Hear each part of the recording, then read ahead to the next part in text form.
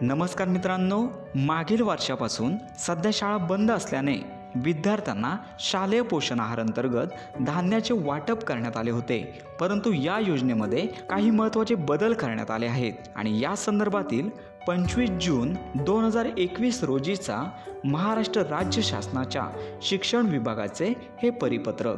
या परिपत्रकानुसार केंद्र शासनाने सुरक्षा अधिनियम दोन हजार तेरा अंतर्गत देशातील सुमारे ऐंशी कोटी लाभार्थ्यांना दरमहा पाच किलो प्रति लाभार्थी धान्य वेगवेगळ्या योजनांद्वारे वितरण करण्याचे जाहीर केले आहे.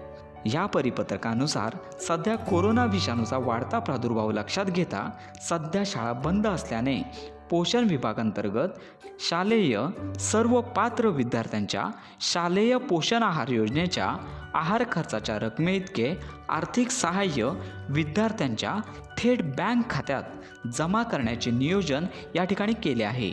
यामुळे विद्यार्थ्यांसाठी उन्हाळी सुट्टीच्या कालावधीतील शालेय पोषण आहार खर्चाची रक्कम आता विद्यार्थ्यांच्या थेट बँक खात्यात जमा होणार आहे आणि त्यासाठी सर्व पालकांनी आपल्या पाल्याचे आधार लिंक असणारे बँक खाते अपडेट करून लवकरात लवकर आपल्या पाल्याच्या शाळेमध्ये जमा करायचे. आहे सर्वात महत्त्वाची बाब म्हणजेच ग्रामीण भागामध्ये जे पालक आहेत अशा पालकांना या अल्पावधीत म्हणजेच कमी कालावधीमध्ये आपल्या पाल्याचे नवीन बँक खाते उघडण्यास अडचणी येत आहेत. आणि अशा पालकांना एक नवीन नियमावली या ठिकाणी जाहीर करण्यात आली आहे.